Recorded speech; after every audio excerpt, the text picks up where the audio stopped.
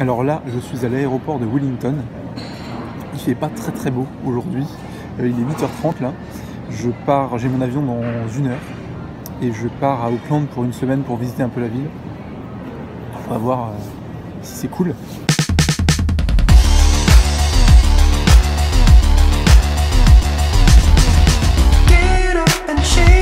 Bon, je viens d'arriver à Auckland. C'est déjà bien la grosse ville là, c'est un peu c'est bien différent de Wellington. Il y a des buildings un peu partout, donc là je me dirige vers l'océan comme les bébés tortues. Et puis on verra, euh, on verra ce que je vais faire. hein.